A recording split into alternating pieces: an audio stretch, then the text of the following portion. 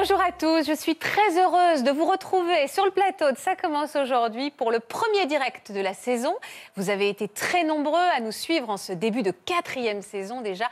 Un grand merci à tous pour votre fidélité. Alors s'il y a bien un constat que nous avons pu faire pendant ces mois de confinement, c'est que l'école et les professeurs nous avaient beaucoup manqué. Tous les parents ont pu réaliser vraiment concrètement à quel point c'était un vrai métier d'enseigner à ses enfants, un métier difficile, un métier où la patience et le maître mot. Alors nous, aujourd'hui, on a décidé de les mettre à l'honneur. Dans Ça commence aujourd'hui, ces professeurs, car on a souvent tendance à parler, beaucoup ici sur ce plateau d'ailleurs, de la souffrance des élèves, mais la souffrance des enseignants est bien réelle aussi, entre harcèlement, rumeurs, violence, manque de moyens, manque de soutien aussi, certains professeurs perdent parfois pied et ce qu'ils voyaient comme le plus beau métier du monde se transforme alors en cauchemar. Chaque semaine, un agent de l'éducation nationale décide de se donner la mort. Un chiffre édifiant que nous allons tenter de comprendre aujourd'hui sur ce plateau avec nos invités et l'un de nos psychiatres, le professeur Laurent Carilla, sur le plateau de Ça commence aujourd'hui. Bonjour à tous. Bonjour. Merci infiniment d'avoir accepté notre invitation. Je sais que ça vous tient à cœur et je suis touchée par votre confiance. Bonjour Camille. Bonjour. Bonjour Jean-Bernard. Bonjour. Bonjour Isabelle. Bonjour. Et bonjour Anaïs. Merci d'avoir accepté notre invitation. Je le rappelle qu'on n'est pas là pour faire de la politique. Euh, on sait que ça, ce débat qu'on va avoir ensemble aujourd'hui soulève beaucoup de questions politiques, mais moi je suis surtout là pour écouter votre détresse, pour écouter votre témoignage et vous représenter bon nombre d'enseignants qui ont déjà, s'y sont déjà manifestés hein, sur la page Facebook de Ça commence aujourd'hui. D'ailleurs, je vous invite, hein, puisqu'on est en direct, à, vous manifester sur les réseaux sociaux. Le hashtag c'est CCA sur Facebook, sur Instagram, sur Twitter. Et puis, on a eu une idée, on a tous un professeur qui nous a marqué au cours de notre vie. Alors surtout, n'hésitez pas à nous envoyer une photo, une photo de lui, une photo de lui et vous, euh, en rendant hommage à ce professeur un peu atypique, un peu différent, nous expliquant pourquoi.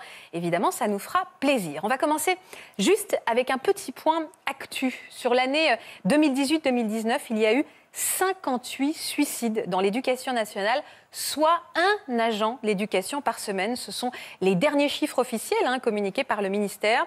Des suicides qui ne peuvent laisser indifférents, comme celui de Christine Renon. Christine Renon, c'est cette directrice d'école qui s'est donné la, qui s'est donné la mort pardon, en janvier dernier.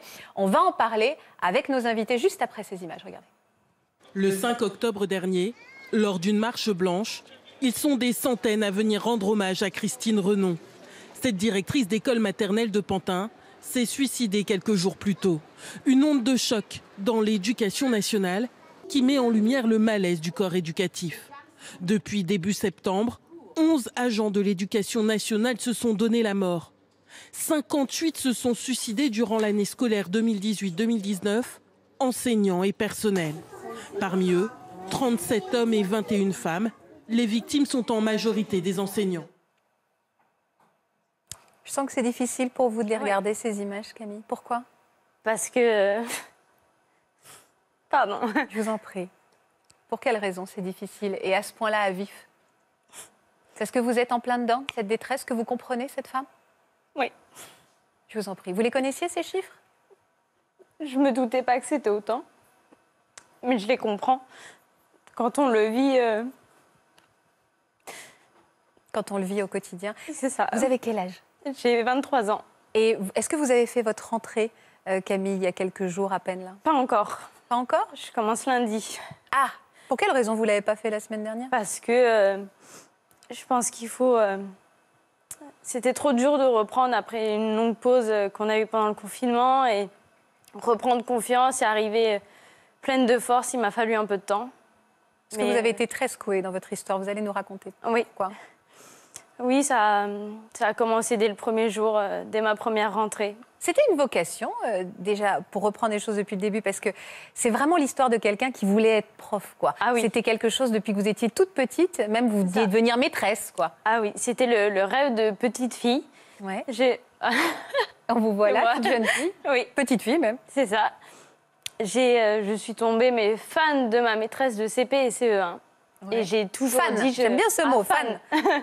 C'était mon exemple et j'ai toujours dit je, je veux être comme elle. Je veux faire ce qu'elle fait. Je. Oui.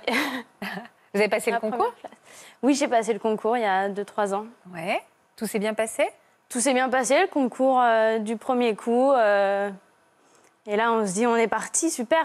Ça y est. Ça y est. Vous réalisez votre rêve. C'est ça. C'est vraiment ça. On peut parler de rêve ça. pour vous. hein. Mm. Alors, comment elle se passe, cette première rentrée donc? Et ben cette première rentrée, c'est un choc. Un choc parce que euh, je suis en classe de petite et moyenne section, 32 élèves, Ouais. toute seule. Toute seule. Vous aviez quel âge à l'époque? J'avais euh, 22 ans, 21 ans. Donc, vous vous êtes retrouvée, première euh, rentrée, 21 ans. première rentrée avec 32 élèves. C'était Voilà. dans quelle classe? C'était des petits moyens, donc 3-4 ans. Ouais. Et, euh, et puis, on est déstabilisé. On en a 32, on a la moitié qui pleure, l'autre moitié qui court. On ne sait pas quoi faire. On n'est pas. J'avais jamais vécu ça. J'avais fait des stages, mais toujours en observation. C'est pas moi qui. Ah, qui avait les rênes, quoi. Voilà, c'est ça. Et prendre les rênes comme ça, c'était. euh, C'était un choc. Je me suis dit, c'est. Alors, soit c'est le premier jour et il faut que je m'habitue, soit si c'est vraiment ça, euh, c'est dur. Vous n'aviez pas mesuré avant cette première rentrée à Non. quel point ça pouvait être difficile. Non. Et cette solitude, c'est cette solitude face à 32 élèves qui vous a C'est ça. déstabilisé? C'est ça, je... on essaye d'en calmer un, mais il y en a trois autres qui, qui font autre chose. Enfin, il faut avoir le regard partout. euh, Et quand on est seul, bah, c'est dur. Bien sûr, c'est dur. C'est dur. Bien sûr. Vous aviez des moyens à votre disposition pour euh, Très peu. travailler? Très peu. Très peu. Très peu de matériel, pas beaucoup de jeux, de jouets. De... Donc il faut, faut faire avec. Est-ce que les parents vous ont bien accueilli Pour cette première rentrée, oui. Un peu déstabilisé que je sois si jeune, je pense, parce qu'on me tutoyait dès le premier jour. Ah, les Voilà. parents vous tutoyaient? Oui, les parents.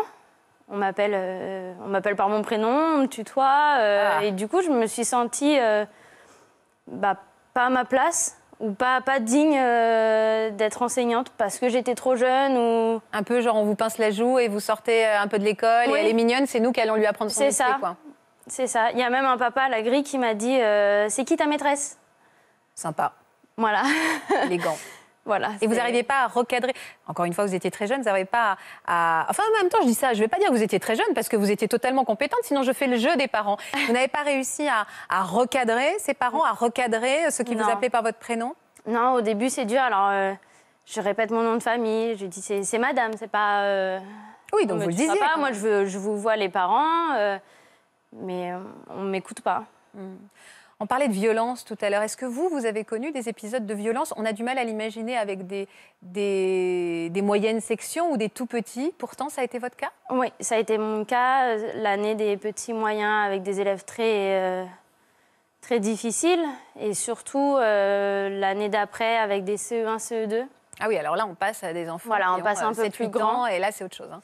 Et là, c'est autre chose euh, avec euh, un élève euh, qui, euh, qui m'a lancé une paire de ciseaux, qui me fait des croche-pieds quand je passe à côté de sa table, euh, qui m'insulte, qui me pousse. euh. Comment on fait quand on se retrouve face à un enfant qui réagit comme ça? Vous en parlez au directeur de l'établissement? Vous en parlez à ses parents? Ah oui, on en parle. On est un peu désarmé quand même. Alors au début, on se dit bon, on va peut-être pas en parler parce que c'est moi qui ai fait une faute ou c'est moi qui sais pas gérer ma classe.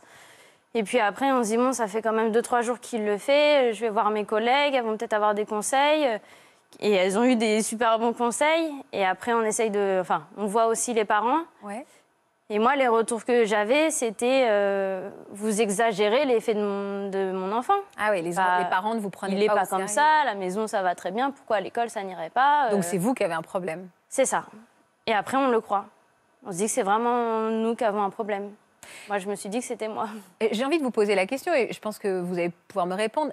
L'autorité d'un professeur, le professeur qu'on respecte, qui représente une, une autorité, une hiérarchie, ça n'existe plus aujourd'hui? Plus beaucoup. En- En tout cas, moi, je ne l'ai pas vu. Très peu. Jean-Bernard Vous avez l'impression qu'on ne regarde plus les profs comme avant? Ils ne représentent plus une forme d'autorité, même sur les parents en fait? En fait, il y a eu une démocratisation de l'école, donc ça peut s'entendre. On a laissé rentrer euh, les parents d'élèves, ce qui est une bonne chose. On a créé une communauté éducative euh, où on écoute euh, toutes les personnes, et notamment les élèves. Je trouve que c'était plutôt bienveillant au démarrage. Mais petit à petit, on dérive, et effectivement. Moi, je suis choqué par ce que, ce que je viens d'entendre, c'est-à-dire au-delà du... du- J'entends surtout un jeune professeur qui démarre et qui dit « je suis pas digne d'enseigner ». Parce qu'il y a des parents qui lui parlent comme, euh, comme il parlerait à, à- à n'importe qui, alors qu'il s'adresse à l'enseignant de leurs enfants. Donc les, les enfants, par mimétisme, on ne peut pas leur demander d'être plus respectueux que ne le sont les, Ils font la les même parents. chose que leurs parents. Et pour un jeune, une jeune professeure comme vous, euh, vous avez été immédiatement ébranlé dans votre confiance en vous. On- Vous n'êtes pas formé avant pour faire face justement à ce type de violence ou à ce type de comportement? Non, alors euh, il y a... on nous montre euh, des vidéos, des exemples, mais, mais c'est pas, C'est abstrait en fait. c'est Ouais, pas la réalité. Ouais, c'est abstrait, ouais. Enfin, c'est bien beau en vidéo, mais l'enseignante, euh, elle est aidée et moi j'étais seule dans ma classe et euh, je savais pas quoi faire. C'est tout très vrai et très juste ce que vous dites, on comprend en fait. Mm. Et euh, jusqu'à quel point vous avez été ébranlé, vous Camille? Jusqu'au. euh, Après, il y a les parents qui s'y ont mis. Alors qu'est-ce qui s'est passé avec ses parents? Bah, je me suis fait agresser par, euh, par un parent qui a fait interruption dans l'école et qui m'a bousculée, qui m'a insultée. Mais pourquoi? Qu'est-ce que vous aviez enfin, Qu'est-ce qui vous reprochait? Parce que euh, j'avais confisqué quelque chose à son enfant et du coup, euh, Vous êtes fait agresser? agressé, oui, physiquement et verbalement. Et on a remis en doute la gestion de ma classe, tout ça.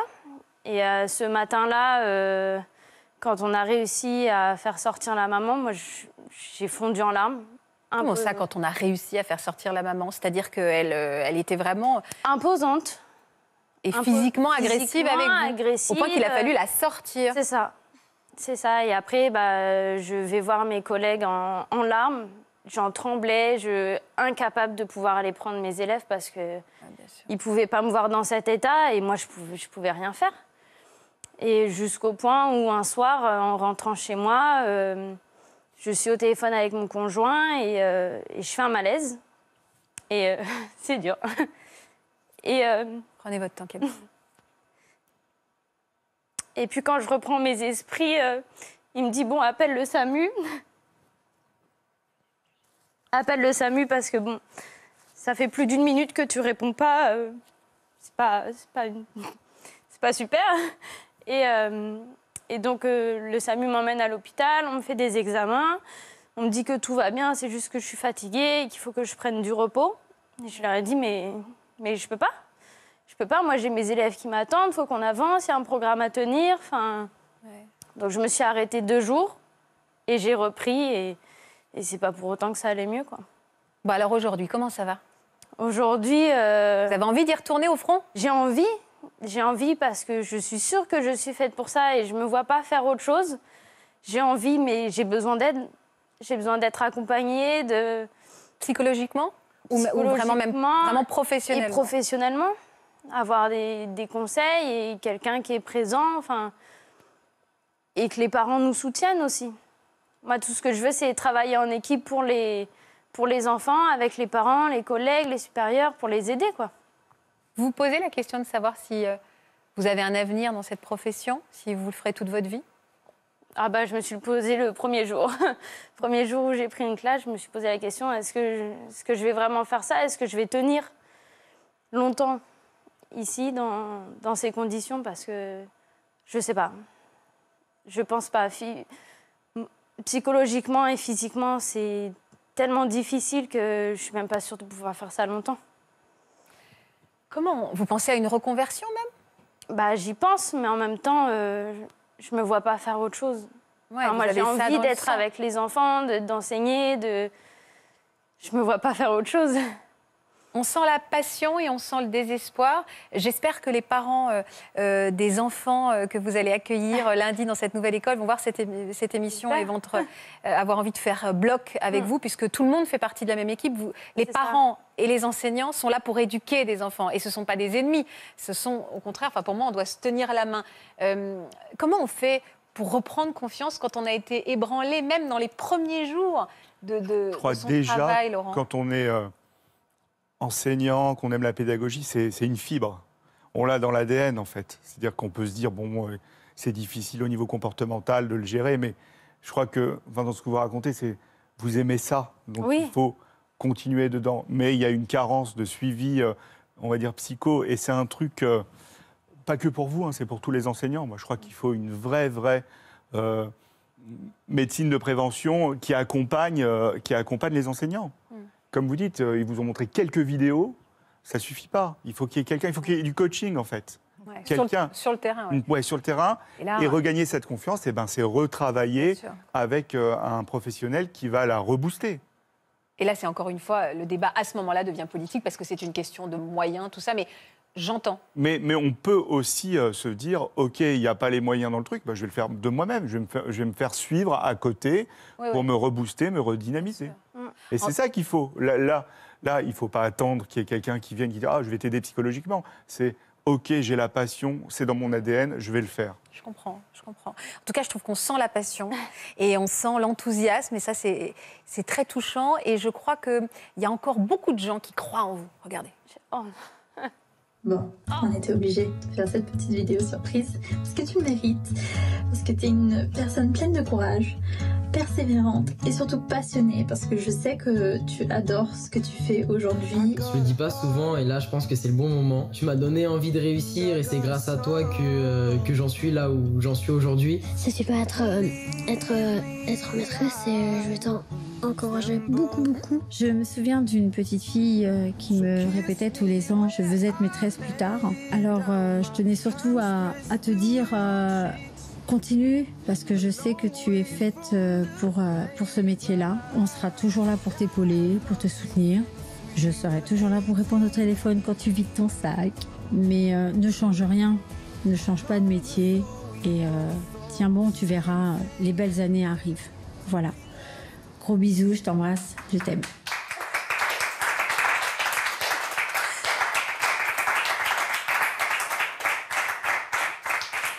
Savez, moi, je trouve qu'ils ont de la chance, les petits qui vont vous avoir comme maîtresse.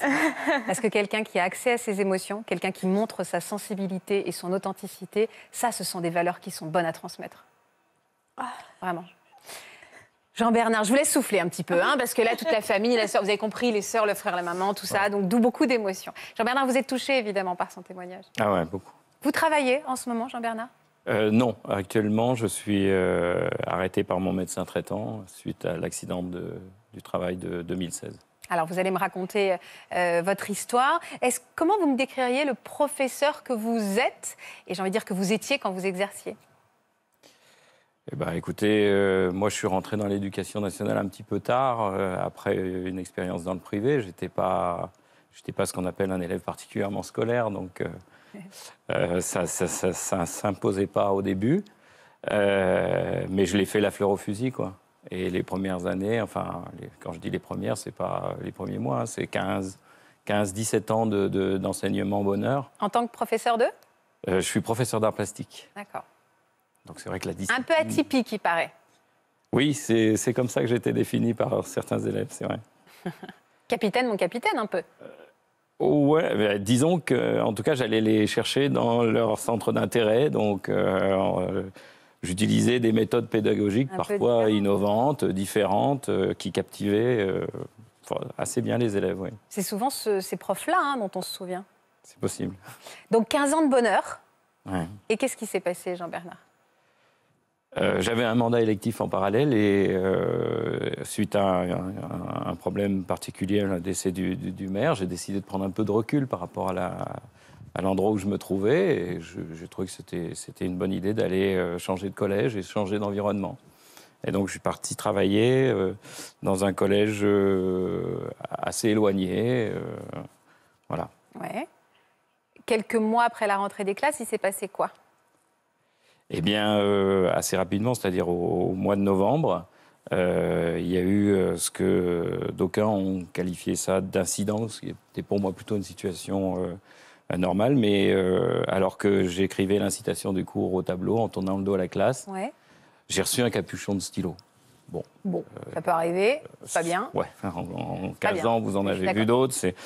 Euh, là, euh, par contre, c'était une classe qui, qui avait, il y avait une assez mauvaise mayonnaise dans la classe, donc j'ai décidé de, de, de marquer le coup en me disant, Ah, on est au début de l'année, tu arrives dans un nouveau collège. Oui, il faut euh, tout de suite montrer qu'avec bah, moi, ça ne se reproduira voilà, pas. euh, L'autorité, elle se décrète pas comme on dit, euh, mais à un moment, il faut quand même euh, partir sur, sur des, des- des bons rails. Vous avez fait quoi Donc j'ai décidé de ne pas lâcher l'affaire et de savoir qui l'avait fait, de demander à la classe de le dénoncer. Et ça a pris un peu de temps. Euh, j'ai surtout eu affaire à, des- à une classe très complice dans les, dans les bêtises. Euh, et puis quand j'ai quand j'ai repéré donc euh, par un jeu de regard, on finit par comprendre un peu quel était le, le, le fauteur de troubles. Euh, je suis allé le voir pour lui demander de se dénoncer. Comme il ne le souhaitait pas, je, je l'ai invité à aller au, au centre de la, de la classe pour dire à ses camarades, c'est pas moi, quoi. Je me suis dit, il n'est pas gonflé à ce moment-là. Donc effectivement, il y est allé, il a reconnu avoir jeté ce capuchon de stylo sans vouloir vraiment m'atteindre. Enfin bref, enfin, bref. peu importe. Incident clos. Incident clos. Moi, j'ai sermonné la classe derrière Oui, bien sûr, vous avez fait votre par travail. rapport à, à l'attitude qu'elle a eue. De... Et puis, euh, pour moi, l'incident était clos. C'était quasiment la dernière heure avant le, le week-end. hein, Mhm. Et euh, je, suis, je suis rentré chez moi derrière. Enfin, Et vous êtes passé à autre un week-end euh, tout à fait normal. Qu'est-ce qui s'est passé quelques jours plus tard? Eh bien, ma grande surprise, euh, j'ai commencé d'abord par recevoir un mail du chef d'établissement me demandant de passer le voir avant de prendre mes élèves euh, que j'avais le jeudi d'après, parce que des fois j'ai des semaines moins complètes. Euh, un mail tout à fait anodin. Ouais. Passez me voir cordialement. D'accord. Bon, je- voilà. Euh, et quand je suis arrivé donc le, le jeudi matin, Ouais. euh, changement de décor, je passe chez, voir le, le chef d'établissement. Et pour lui, ton très grave, il s'est passé quelque chose, euh, racontez-moi votre, euh, votre version des faits. Je, me souviens de tête que c'était un peu le- les mots qui étaient employés sur ce qui s'est passé dans le cours d'art plastique en 5e X. Vous avez fait le lien tout de suite, Jean-Bernard, avec ce qui s'était passé? Bah, oui, parce que bon, même si c'est une situation de cours normale, c'est vrai que euh, bon, on fait pas ça à tous les cours. Quoi. Bien sûr, Donc bien je me suis dit bon, voilà, c'est une classe difficile. Euh, euh, ils ont eu à faire un, un recadrage, on va dire collectif. Ouais. Euh, comment ça, ça a pu être peut-être perçu de manière, euh, on va dire, surprenante, mais sans trop faire le lien non plus. Je pensais qu'un professeur principal me l'aurait dit. Vous pouvez comprendre voilà. aussi ce qui s'était passé, bien sûr. Et là, donc, le chef d'établissement m'a dit qu'il avait. On, on lui avait témoigné des violences sur cet élève, violences sans plus de détails, des violences physiques sur. ah ben, des violences. Et il m'a remis euh, donc un, un papier qui signifiait mon exclusion de, de- de l'établissement. euh, Direct comme avec ça marqué euh, je vous informe que je vous éloigne de l'établissement. vous êtes soupçonné, enfin, c'était pas écrit comme ça, mais peu importe, de violence sur élève, etc. et, et ce qui est terrible, c'est quand on vous annonce ça pour vous dire c'est pour vous protéger. C'est, vous Ouais, comprenez, enfin, en les, les gros, rumeurs, comment, enfin, pas le mot rumeur, mais les- ça non, mais en faisant ça, il valide un petit peu les propos euh, des. Qui a été raconté ça? C'est l'élève en question? C'est le groupe? Ce sont les parents? Et de quoi on vous a vraiment accusé, Jean-Bernard? Alors, tout ça, ça s'est dénoué après, parce que sur le coup, moi, j'avais Oui, pas tous ces hein, éléments-là. Ce que j'ai réussi à en comprendre, c'est que, en fait, il y avait eu une avalanche de mails de parents d'élèves euh, pendant le week-end. Des mails dont j'ai euh, saisi la teneur bien après, Ouais. Et euh, de témoignages d'un groupe d'élèves, mais pas de l'élève concerné, qui, euh, quand il a été questionné, il se souvenait de rien, en fait, lui. hein. D'accord. bon, il s'est fait engueuler, c'est tout ce qu'il avait à dire. Et a priori, on avait zappé un peu qu'il avait jeté un stylo, mais Oui. en tout cas, il s'est fait engueuler. Bon. Ouais. Et euh, ce témoignage de groupe d'élèves a été, a été recueilli par euh, une enquête au sein du, du collège. Enfin, je ne sais Ouais. pas comment ça s'était passé parce que je n'avais pas de détails. Et qui avait mené au- au- au- à la conviction pour le chef d'établissement Ouais. qu'il s'était passé quelque chose et que pour lui, euh, la meilleure des solutions, c'était de m'éloigner du collège. Mais, pardon, Jean-Bernard, mais là, en l'occurrence, quand vous nous racontez, on, on comprend bien la situation. J'imagine qu'il y a une enquête qui a été faite derrière et que vous avez été immédiatement euh, innocenté. Mais vous, on vous a tout de suite exclu. C'est ça que vous avez mal vécu. C'est qu'en fait, votre parole ne compte pas. Ben, que ma parole ne compte pas, oui. Et, enfin, surtout, c'est c'est qu'on a créé la situation. C'est-à-dire Ouais. qu'à partir du moment où le chef d'établissement vous exclut, moi j'ai eu des, des- des témoignages de soutien de mes collègues. euh, euh, et, et- et- et- et les collègues, ils m'ont dit, ben, euh, les élèves, dans la cour, c'était, on l'a fait virer. Ah Ben oui, il est l'a plus là. Et, ah ouais, alors, et, et- et- là, la rumeur n'a fait qu'enfler Bah ouais. jusqu'à ce que, euh, effectivement, je sois réintégré dans mes fonctions euh, en janvier euh, Donc- 2016. Donc quoi, deux, trois mois plus tard? Non, même pas. Ah, Moi, d'accord. quel- quel- euh, un mois, je crois. Donc l'enquête a, a prouvé que vous n'aviez rien fait, Jean-Bernard, à part juste éduquer ses enfants. Voilà, c'était un acte d'autorité. Bah alors normalement, fin de l'histoire quand Ouais, vous on- réintégrez l'école. Bah oui, sauf que euh, là, moi, je m'attendais, effectivement, j'ai pris sur moi de retourner, malgré le fait d'avoir été victime d'une rumeur, etc. Bah, parce que, bon, quelque part, j'estime que c'est peut-être aussi inévitable. Enfin, il faut faire avec. Ça fait partie des conditions, du contexte de l'école. Comme le disait, c'est un, un métier dur, quoi. Et ça, ça en fait partie, même quand vous avez une certaine expérience. Mais quand je suis revenu, le problème, c'est que le chef d'établissement refusait de euh, m'accompagner, euh, de dire ah ben il a rien fait, Monsieur Griotier, euh, il reprend ses cours, etc. Alors par ça, j'étais déjà choqué. Et en plus, quand je reprends la classe, je me rends compte que les élèves en question, euh, il manquait 3-4 élèves qui n'étaient pas absents de manière normale. C'est un élève de la classe qui m'a dit, mais monsieur, on les a autorisés à pas venir. On les a. Ah, donc ils valident, ils valident le fait que ces, ces élèves ne viennent pas. Pourquoi? Parce qu'ils auraient peur de vous? Bah, on valide le fait que je puisse être dangereux. Ah et oui. que du coup, le- les Alors, parents qui ne souhaitent pas que leur élève, que leur élève soit face à, à cet enseignant Ouais, ont euh, l'aval du chef d'établissement. Ouais, ouais, alors là, de tout. ça annulait presque votre relax d'avant, quoi. Ça validait un doute, quoi. Oui, voilà. Et puis surtout, c'est que malgré le fait de, de revenir, enfin par rapport à tout ce qui, est- ce qui avait été vécu, euh, parce que quand vous êtes, euh, enfin vous êtes viré, hein, faut- on appelle ça une mesure conservatoire. Je vous le dis, euh, quand c'est à vous, c'est vous êtes viré, vous revenez, hein, vous êtes un, un enseignant atypique. Les élèves sont au centre de, de- de- de mes préoccupations. Je suis, je suis, euh, moi aussi, je suis. C'est un métier que je fais, euh, même si j'y suis venu sur- avec passion. Euh, je le vis comme un métier qui peut valoriser des, des- des Bien élèves qui ne sont pas valorisés ailleurs. J'ai une matière qui est formidable à enseigner. Et, et- et là, tout d'un coup, il y a un, un- un chef d'établissement qui ne se renseigne pas sur tout ce qui a pu se passer avant, qui me dit Je vous vire. Et quand vous revenez, parce que vous dites Bon, peut-être qu'il a eu des pressions, machin, Bien sûr, hein, bien sûr, bien vous revenez, vous arrivez, et on vous dit Non, monsieur, euh, les élèves euh, en question, ils sont plus devant vous, hein, parce que c'est trop dangereux. Ah ouais. Ah, Moi, je suis parti, là. Quelles peuvent être les conséquences Et vous allez me dire quelles ont, qu'est-ce qu'elles ont été Quelles ont été, pardon, quelles peuvent être les conséquences psychologiques de cette violence morale, en fait? Bah, c'est d'abord bah, des- l'émergence de symptômes dépressifs, l'émergence de symptômes anxieux, des troubles du sommeil, une estime de soi qui est complètement déflagrée. Euh, Ça peut être euh, euh, des réactions paradoxales, type on est, on n'arrive plus à bien gérer euh, dans sa vie courante les choses, être un peu irritable, etc. Donc c'est Ouais, ouais. c'est comme ça un, un- un amas de symptômes psychiques. Sans que, sans que ça devienne une véritable maladie psychique, mais ça peut aussi devenir une maladie psychique, et ça s'accumule sur la charge mentale. hein. Puis surtout, quand on, s- quand on est censé incarner justement l'assurance et l'autorité, si son, son château interne s'écroule, comment aller se présenter devant des élèves C'est ce qui s'est passé pour vous? Ah, complètement. Vous êtes écroulé? Complètement, voilà. C'est, je suis allé voir euh, mon médecin habituel et quand il a, quand il a découvert mon état, en plus, euh, il, il me connaît de- depuis, euh, bon, ça fait bien, bah, lui, 20, 25 ans que, que je suis suivi par ce, par, par, par ce docteur. Euh, Quand il m'a vu, il m'a dit, mais je t'ai jamais vu dans un état pareil, quoi. Il dit, c'est pas possible. C'était inimaginable pour lui que, que j'aille euh, retravailler ou que, enfin, Bah oui. j'étais euh, une lavette, quoi. par terre quoi. Et il y a eu, ça a été jusqu'au tribunal cette histoire. hein. Il y a eu une enquête, ça, il y a Oui. eu un procès en fait. Et oui. C'est fou cette histoire. C'est. Vous savez, c'est comme dans le film, là, Kayat, là, le vieux film où il y a Jacques Brel. Enfin, tout d'un Ouais. coup, les, les choses, euh, les rumeurs enflent, dépassent, partent, etc. L'institution ne vous porte pas.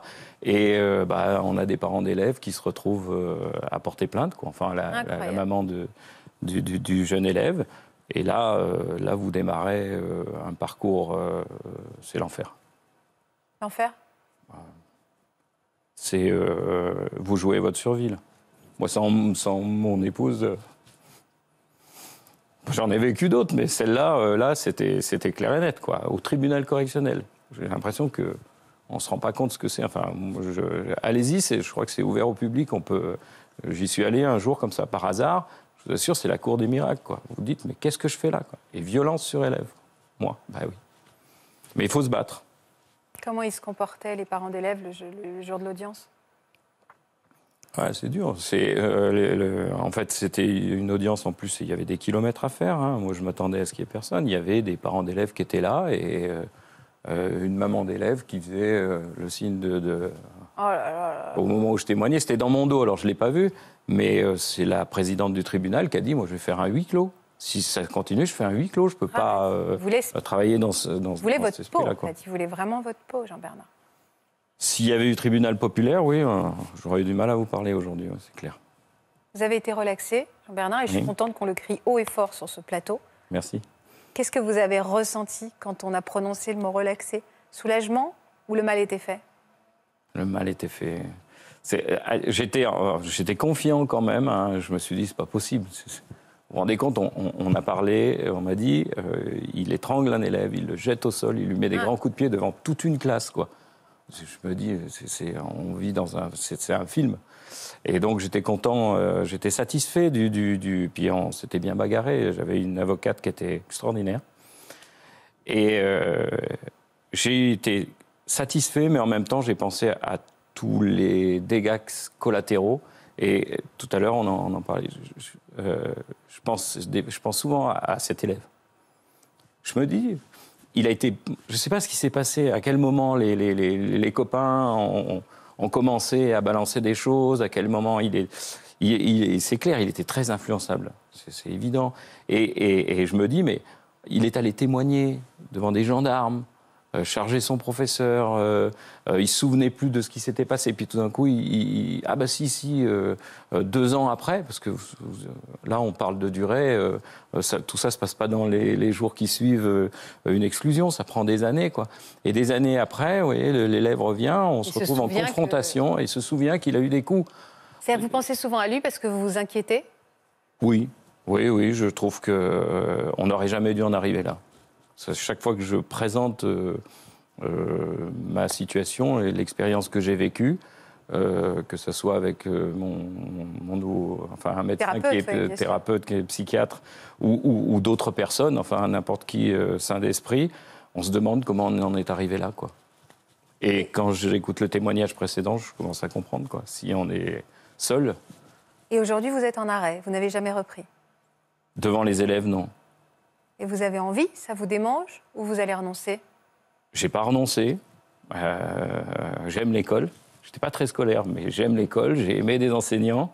Euh, j'ai- besoin, euh, j'ai envie de retravailler au sein de l'éducation nationale. Et j'ai tout fait pour. Parce que là, on parle d'une histoire d'il y a cinq ans. Pendant cinq ans, bah, je me suis formé. Je me suis, j'ai postulé pour des postes un peu différents, etc. Visiblement, en face de moi, la réponse. Vous avez un casier, quoi, en fait. hein, c'est comme ça que vous le ressentez. hein. bah écoutez, vous disiez qu'on ne faisait pas de politique, alors je ne vais pas en faire, mais franchement, euh, euh, l'éducation nationale, c'est au-dessus du ministère de la Justice. quoi. Mm. C'est-à-dire quand vous avez une décision de justice, l'éducation nationale procède, alors je vous le dis textuellement, procède à une analyse différente. Oui, j'entends. Pour eux, je suis encore quelqu'un qui a mis des coups de pied à un élève par Et terre. potentiellement dangereux. Et, et paradoxalement, on vous envoie devant les élèves en, en cours. C'est, humainement, c'est, c'est impossible de Alors, vivre. humainement, comment on se relève de ça, en Il faut fait se faire suivre. Il faut, il faut entreprendre un travail de psychothérapie, à la fois d'accompagnement, de soutien, et à la fois essayer de creuser euh, sur, euh, enfin, sur, sur l'épisode actuel, enfin l'épisode actuel qui était assez long, un truc un peu chronique, il faut se faire accompagner. Se faire accompagner aussi par des jolies choses et des jolis mots. Mm. Et on avait envie d'y participer aujourd'hui, capitaine. Mon capitaine, regardez. Ah. Monsieur Griotier, ça me fait vraiment plaisir d'entendre votre nom à nouveau. Dommage que ce soit dans ces conditions. Mais ça m'aura permis de me replonger dans des vieilles photos d'époque, euh, dont celle du voyage en Turquie, le fameux que vous avez organisé pour nous. Je vous remercierai jamais assez pour ça. C'était une baffe culturelle, une ouverture d'esprit. euh, euh, je pouvais pas attendre euh, mieux euh, d'un enseignant au collège. Vous avez été un excellent prof, vous m'avez beaucoup appris. Et au-delà du professeur, j'ai connu aussi une très belle personne. Et j'ai d'excellents souvenirs avec vous euh, durant mes années collège. Je me fais porte-parole de la fratrie Huissou. Voilà, on voulait juste te faire des gros bisous, te rappeler qu'il y avait eu vachement de bons aussi, je crois. Alors on est trois à t'avoir eu trois ans. Ça fait peut-être un petit peu long à raconter, mais euh, en faisant la vidéo, justement, je me suis mis là parce que ça m'a fait rire. Je sais pas à quel point c'est de ta faute, mais moi je suis devenue une espèce de gros cliché d'artiste quand même. Et aujourd'hui, de ma fenêtre, je peux t'offrir les trois de Paris. Hein sous le ciel de Paris s'envole une chanson. Mmh. Elle est née d'aujourd'hui dans le cœur d'un garçon. Des gros bisous, voilà.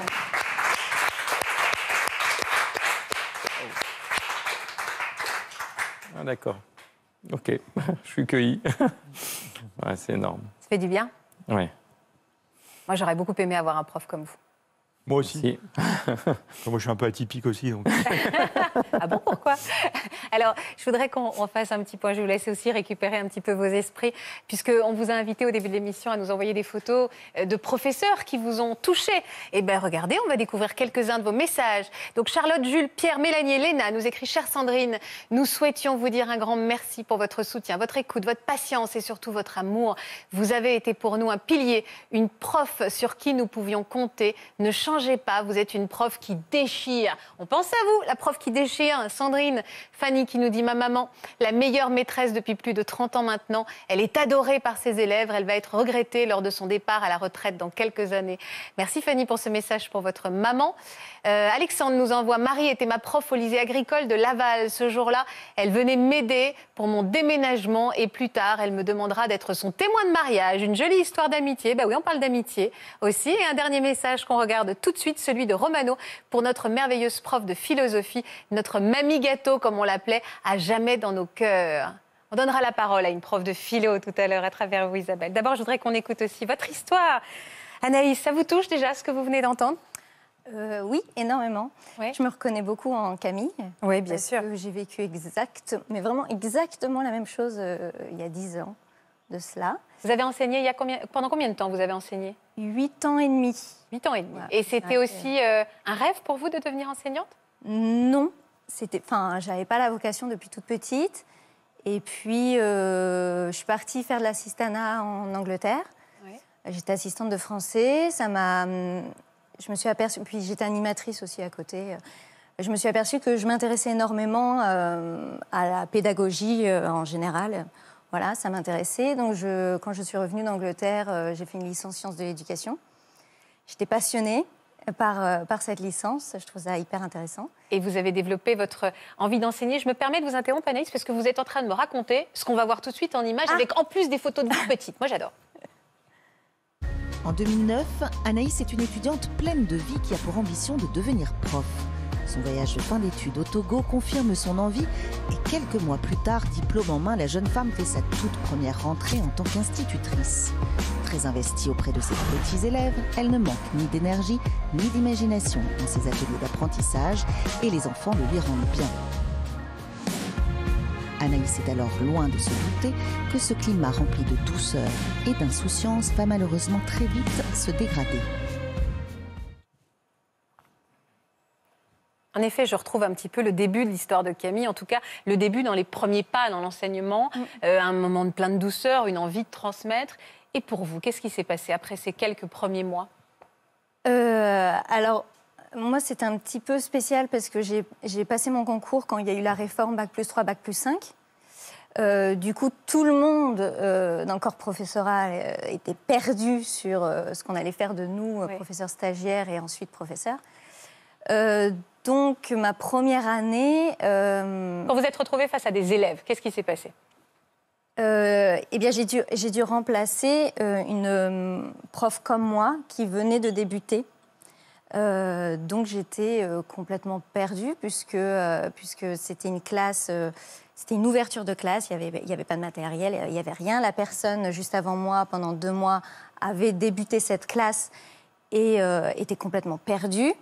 Donc, j'arrive dans une classe, euh, déjà vers, vers octobre à peu près, qui, euh, de petits moyens euh, qui, où il n'y a toujours rien, où il n'y a pas de cohésion de groupe, il a pas. il- voilà, je suis autant perdue que ma, ma collègue qui, elle, partait du coup en stage. Donc vous êtes totalement dépassée? Dépassée, je passe. dès le premier jour, j'arrive chez moi le soir et je me demande ce qu'il faut faire. Donc je. Je- je- J'essaye de, de créer en dernière minute plein de, de matériel. Euh, J'essaie de me demander, euh, bon alors voilà, là les deux prochains jours, enfin je, je- je marche de jour en jour en me disant bon demain euh, qu'est-ce qui se passe, qu'est-ce que je fais, qu'est-ce que donc je passe énormément de temps euh, le soir à me dire à préparer le lendemain. voilà, préparer euh, le lendemain et à me dire bah, bah, comment, qu'est-ce que, qu'est-ce que je vais leur proposer demain? Parce qu'il n'y a rien, parce que rien été il y a fait, pas de- que- c'est ça. ouais. Voilà, donc euh, je suis un peu dépassée. Et dépassée aussi par la violence de ces petits, parce que vous aussi, vous y avez été confrontée? Alors, pas. pff, En fait, la violence, parce que j'ai fait énormément de remplacements. Euh, j'ai été remplaçante pendant 4 ans parce que j'étais très jeune aussi et donc du coup je n'avais pas de poste et je voilà j'avais pas le choix je devais être remplaçante donc j'en ai fait énormément et de la violence j'en ai vu dans pratiquement toutes les classes en plus d'être remplaçant c'est très très compliqué euh, parce que les ce qu'on oublie très très vite c'est qu'on est face à des petits à des enfants qui ont des besoins et euh, leur premier besoin, c'est d'être rassuré, d'être entouré et d'avoir un référent. Leur prof, Mm. c'est leur référent. Donc, quand ils voient débarquer un remplaçant, ils le testent ou ils, le- ils essaient Pour de savoir s'il est à la hauteur du, du Bien du- sûr, de et puis celui à qui est vont statutaire. être mangés, puis est-ce qu'ils sont comme leur, leur prof qui est, D'accord, ouais, euh, voilà, tout leur, euh, tout leur univers. Euh, Au point qu'ils ont pu vous déstabiliser ou vous provoquer? Oui, moi j'ai eu plein de, plein de moments euh, très très difficiles avec euh, des enfants. Euh, je me rappelle d'un remplacement parce que pour, pour aller en remplacement, j'attendais euh, aux abords de la ville le matin et j'attendais un appel. Et euh, on m'appelait, on me disait, euh, bon, bah, telle école, tel niveau de classe, euh, Ah oui, maintenant, ah, là, dans d'accord. cinq minutes. Quoi. Ah oui, donc c'est épouvantable. De- Enfin, on débarque, on ne sait On pas, on se retrouve devant une horde d'enfants. Voilà. On débarque. Et Vous avez pu être traumatisé par certains contacts avec des enfants Bah, lors de vos euh, remplacements Si, si, j'ai eu, euh, j'ai eu une fois un remplacement où euh, on m'avait dit c'est juste une journée. Donc moi, je débarque en me disant c'est juste une journée, vous inquiétez pas, votre professeur va revenir. Euh, voilà, je fais des trucs sympas dans la journée. Et en fait, on me dit le lendemain non, non, en fait, euh, la prof est enceinte, elle a des, elle a des soucis, des complications. Euh, elle reviendra pas, c'est pour toute l'année. Donc euh, le lendemain matin, je- bon, ok, j'y retourne, j'y vais et je leur explique, bon voilà, on vient de m'avertir, je suis, dés- je suis désolée, mais en fait, ça va être pour toute l'année. Et disons que c'est un professeur que les élèves attendaient et voulaient absolument. Et du coup, il y a un élève de CM1 qui l'a, qui l'a très très mal pris. Et qui a pété un plomb? Qui a, voilà, qui a, qui a vraiment. Non, mais je permets de Voilà. les mots. ouais. Il est arrivé le soir chez lui, il, est- il a expliqué à sa mère que j'étais une, euh, une femme violente, que je n'avais rien à faire dans sa classe. Et le lendemain matin, la, la maman a débarqué, euh, intrusive. J'allais faire rentrer les élèves dans la classe et elle se pose devant moi et m'insulte, me donne, euh, enfin voilà, euh, me donne tous les noms d'oiseaux euh, possibles et inimaginables. Et moi, j'avais des CM1, CM2 mort de rire. Et donc là, je me suis dit, OK, donc j'ai euh, 22, 22 ans, ma, ma légitimité, ça y est, là, elle est écrasée. Qu'est-ce que je fais? Et c'est violent, et c'est humiliant. C'est très violent. Et donc, on rentre en classe après comme ça. Et Mais ça, c'est c'est un exemple parmi, j'en ai... On vous a jamais, on vous a jamais frappé physiquement Si. Si Vous Si, avez été si. frappé physiquement Oui, oui, euh, j'ai fait un remplacement, euh, beaucoup de remplacements. J'ai eu des élèves, euh, un élève de petite section qui a des, voilà, des vrais problèmes enfin, familiaux. Et quand je suis arrivée pour faire le remplacement, cet élève n'a pas, ne me connaissait pas, connaissait pas mon visage, donc ça a été un choc pour lui que sa maîtresse ne soit pas là non plus. Et euh, c'était un élève donc du coup qui faisait des crises et il est arrivé, il a détruit tout le matériel de toute la classe et il commençait à s'en prendre aux autres élèves. Donc il était en train de craquer, il était en crise. Et là je me suis dit bon alors je ne suis pas éducatrice jeunes enfants, je ne suis pas éducatrice tout court, qu'est-ce que je fais? Et euh, j'ai voulu protéger les autres enfants donc je l'ai maîtrisé. Et j'ai voulu le bloquer, le calmer, chanter des chansons pour vraiment le lui faire comprendre que je, je n'étais pas là pour l'embêter, que, ce n'était- que sa maîtresse allait revenir. Je voulais lui parler, le calmer. Et, euh, et je me suis pris tous ses coups. Tous ses coups, il était dans une crise tellement euh, intense que le soir, je suis revenue avec des bleus, des hématomes, des griffures, des, euh, il arrachait les cheveux. Enfin, il était en crise, quoi. Donc, j'en ai eu enfin, des violences comme ça. C'était. Donc vous avez pris des plusieurs fois dans votre... oui, oui, j'ai eu un, un autre élève qui, euh, qui faisait des crises à répétition et qui lui fuguait. Donc quand je suis arrivée en remplacement, on m'a dit attention, euh, cet élève fugue, ça lui arrive très souvent. Je me suis dit ok, très bien, il a fugué une fois, deux fois, sauf qu'il y avait une échelle pour aller, euh, enfin dans le couloir pour aller sur le toit, donc ça me faisait quand même un peu peur. Euh, il a commencé à s'en prendre aussi euh, un jour comme ça euh, à d'autres élèves, à, leur, à partir sous les bureaux puis à tirer sur leurs jambes. Les élèves étaient terrorisés par, par cet enfant, ils avaient super peur, ils ne voulaient pas venir en cours, en classe. Et, euh, et un jour, il a voulu fuguer. Et là, je me suis dit, mais non, c'est pas possible. Aujourd'hui, je peux pas le laisser fuguer. Là, je suis. Enfin, je- Ouais, c'est plus possible. voilà, c'est plus possible. Donc euh, j'ai bloqué la porte en lui disant on va se calmer, on va essayer de discuter, de parler. J'ai demandé à d'autres élèves d'aller euh, sur l'autre porte, euh, de, enfin, voir l'autre professeur pour, passer et puis pour aller voir la directrice et lui demander de l'aide. Et puis en fait, la directrice avait euh, l'habitude de cet élève, elle savait qu'il était violent, que c'était à répétition. Bon voilà, elle disait souvent, faut le laisser faire sa crise et puis, et puis après c'est fini. Mais sauf que sa crise était violente pour les autres. Donc et il est allé jusqu'où? Et donc les autres élèves sont revenus. Euh, là, il voulait absolument sortir. Du coup, en telle crise, il a pris ses poings et il m'a, euh, tabassé euh, tout le ventre, en fait. Donc, euh, donc voilà, été tabassée par, euh, par, euh, par cet élève-là, mais je, je n'en démordais pas. Il fallait qu'il se calme, il fallait. Enfin voilà, j'étais comme lui parce que après il se mettait par terre, il avait les yeux qui révulsaient. Il, il, vous n'avez pas été blessé vous physiquement? Parce que c'est. Bah pareil, des bleus, des hématomes, on prend sur soi quoi. On, se dit bon bah c'est pas la première fois, ce sera pas la dernière. faut maîtriser, on est là pour maîtriser parce que sinon on va encore dire qu'on ne gère pas notre classe, que c'est à nous de maîtriser, c'est à nous de faire ce travail-là. Et, là, et voilà, et les enfants sont revenus en me disant, euh, bah non, mais la directrice là, euh, elle prend sa pause, elle est en train de faire un, elle est en train de, boire son café. Pas aujourd'hui. pas aujourd'hui. Euh. Ça a été quoi le déclic, Anaïs, qui vous a permis d'ouvrir les yeux pour comprendre qu'en fait, c'était pour vous, c'était pas possible, c'était intenable? J'étais pas habituée à une telle violence, que ce soit physique, morale euh, euh, de la part de, de, la part d'élèves, mais de la part aussi de parents qui les parents ont du mal à comprendre notre, le système en fait. Oui, je sais. Oui. Donc du coup, ils sont en questionnement et quand ils n'ont pas vraiment des réponses claires, bah, ils se fâchent parce qu'ils ne comprennent pas. Quoi. voilà, c'est très compliqué pour eux. Et puis euh, l'inspection qui, qui surtout nous dit pas de vagues, on se calme, on enterre le sujet, c'est pas grave, ça passe. Allez, euh, on passe à autre chose, on continue, on continue. Et Donc vous avez... enfin, moi, j'ai fait beaucoup de remplacements. J'avais qu'une idée en tête, c'était d'avoir ma classe pour justement créer cette ambiance euh, que, j'avais hâte d'avoir et de, et de Et vous l'avez jamais eu? Si, je l'ai eu au bout de quatre ans. Et puis là, ça a été compliqué. Alors non plus, euh, bon, toujours de certains élèves, certains parents, mais comme tous les ans et comme partout. Et ça a été compliqué avec, euh, avec la direction, hmm. où on ne s'entendait pas sur notre manière de voir la pédagogie ou de, créer. Et là, je me suis dit, mais en fait, euh, je vais jamais pouvoir sortir de tout ça. Je hmm. J'ai pas le choix de, de, mon école, j'ai pas le choix de ma ville, j'ai pas le choix de mes élèves, j'ai pas le choix de la façon dont je gère ma classe, j'ai pas le choix de mon matériel. Mais vous aviez le choix de partir. Voilà, et, je me suis dit, Enfin, il y avait une histoire de points, il y avait une histoire de, il y avait tellement de, de, de choses. facteurs que vous ne maîtrisiez pas. Oui, je me sentais oppressée et je me suis dit, j'ai le choix de rien. Je suis à bac plus 5, on me demande d'être, euh, de, de, gérer ma classe et de faire mon travail. Je le fais. Finalement, on me dit non, euh, il faut le faire comme ça et on se tait. J'ai senti à un moment donné que je je pouvais rien faire. Je me sentais vraiment dans une bulle et oppressée. Vous faites quoi aujourd'hui? Parce que vous ne me sentez plus du tout oppressée. Vous faites quoi aujourd'hui, Anaïs? Je suis libre. je suis libre, voilà, c'est un bon résumé. Eh bien, aujourd'hui, euh, bah, je suis partie. C'était très compliqué aussi parce qu'on ne nous explique pas trop comment on fait pour partir. Euh, je suis partie, j'ai fait des formations autres. Euh, ouais. J'ai fait des formations de voix off, j'ai fait d'autres formations parce que je fais beaucoup de théâtre.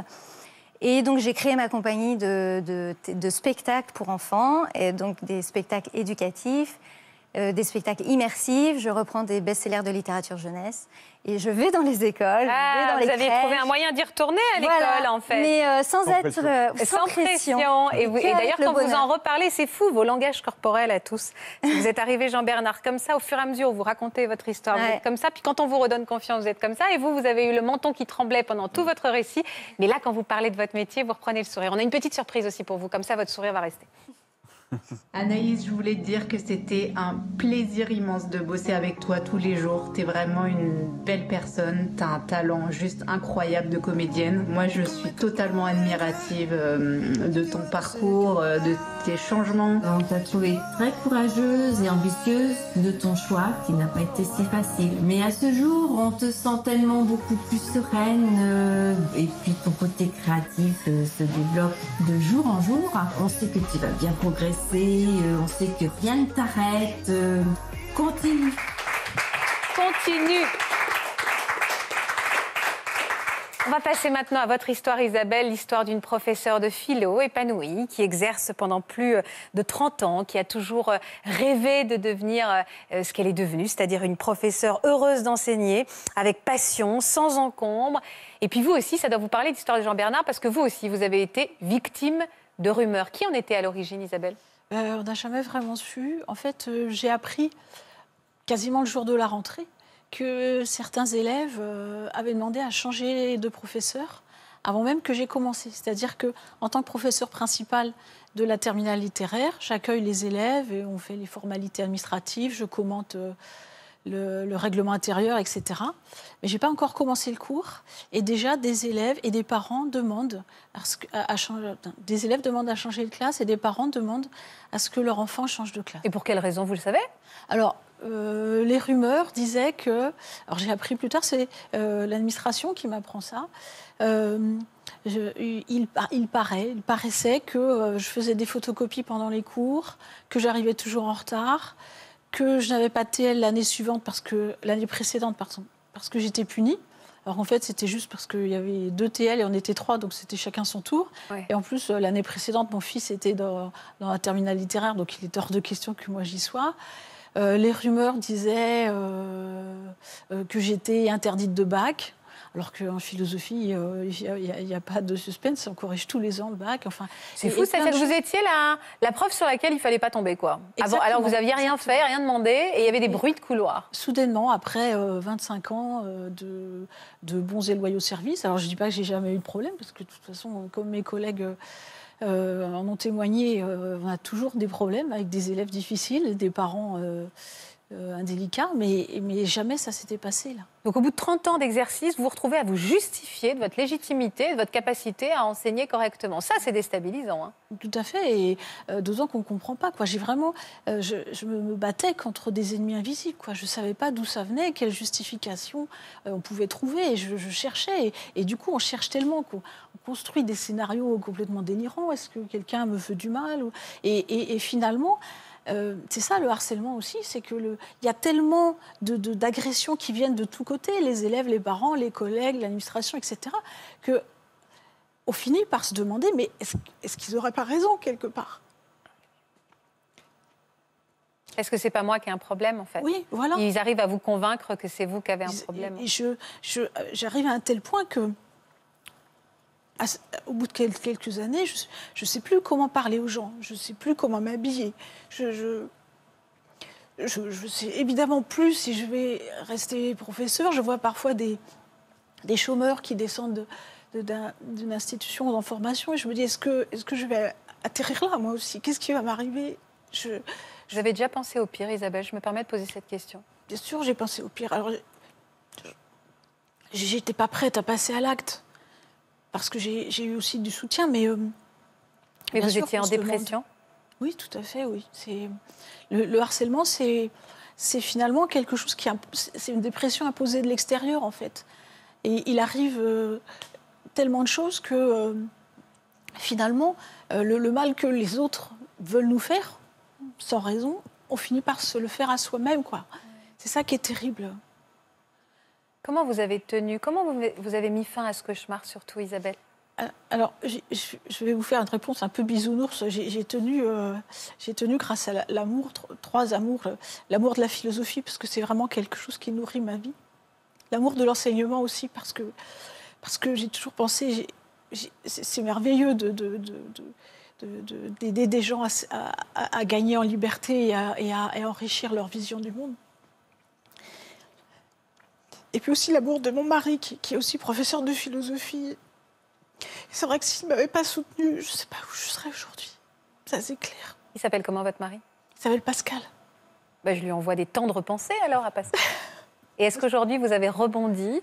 Où est-ce que vous en êtes? Alors en fait, au bout de plusieurs années de souffrance, j'ai décidé d'informer euh, l'inspection. Au mois de mars, d'abord, de ce qu'on a appelé la deuxième année dans le livre. Hein. Et officiellement, j'ai demandé à l'inspectrice de venir m'inspecter au mois de juillet de la deuxième année. Au début, pas de réponse, et finalement, une réponse qui me dit oui plus tard. Et elle vient euh, neuf mois après mon appel au secours, mon appel d'urgence. Hmm. Et c'était pas ce que j'avais prévu, mais du coup, elle vient tellement tardivement que j'ai, rencontré un avocat. Et quand elle vient, j'ai quasiment décidé de porter plainte. Et, et je le lui dis. Et ce jour-là, le harcèlement s'arrête. Et j'ai pu reprendre confiance en moi, en moi aussi avec un travail avec un psychiatre. Je vous trouve très forte, moi. Merci. Mais c'est aussi le, le- le double côté. Ouais. Après, euh, ceux qui veulent se plonger dans votre histoire, vous avez écrit ce livre qui nous a aussi inspiré cette émission. Les profs aussi sont harcelés. Euh, c'est un témoignage très fort dans lequel on, va, on peut vraiment décortiquer. Et évidemment le système éducatif. Et évidemment euh, le, le- le principe même de la rumeur qui détruit, en fait. C'est un peu de thème. Ça vous a fait du bien d'écrire ce livre, Isabelle Tout à fait, tout à fait. C'est thérapeutique. Il hein. fallait que je donne du sens à une situation qui était tellement absurde. Et, et, et du coup, je remercie les éditions Jean-Claude Lattès de m'avoir fait confiance. Parce que finalement, grâce à ce livre, j'ai l'impression que à, quelque chose, malheur a été bon. Quoi, et ça change tout. Ça change tout. Quel genre de femme vous êtes aujourd'hui, Isabelle? Alors, je vais très bien, ça n'a pas l'air. hein. Je suis en pleine Non, forme, hein, ça le se voit pas, mais... Je- je- C'est les émotions. Oui. Et je, je- je m'éclate comme une folle devant les élèves. Et je, je- je- j'ai toujours autant de bienveillance euh, par rapport à eux. C'est vrai que c'est quelque chose qui m'inquiétait aussi quand j'allais mal. Et, et je suis encore plus sûre qu'avant que. Ah, j'aime bien être- entendre cette phrase et j'aime bien terminer cette émission là-dessus, Laurent. Vous êtes encore, finalement, vous en êtes sorti encore plus sur vous. Et je suis tellement contente de terminer cette émission sur votre beau sourire, Isabelle. Ça me fait plaisir parce que malheureusement, on est pressé par les Bah coureurs du Tour de France qu'on va retrouver dans un instant. Mais je voudrais vraiment prendre le temps de vous remercier. Remercier parce que vos témoignages vont faire réfléchir pas seulement euh, les enseignants, mais les élèves et les parents d'élèves qui nous regardent. Puisque moi, étant moi-même parent d'élèves, je cogite beaucoup en vous écoutant dans notre rapport à nos professeurs, que je remercie pour cet excellent travail qu'ils font. Merci infiniment à tous pour vos témoignages. Merci Laurent, Merci. professeur, de nous avoir. Je fais une bise à mes étudiants de médecine de la faculté Paris-Saclay. Et ben voilà, c'est fait et c'est transmis. Je vous embrasse très fort. Merci pour votre fidélité à France 2 tout de suite. Et ben le Tour de France. Je vous embrasse. À lundi. Passez un bon week-end.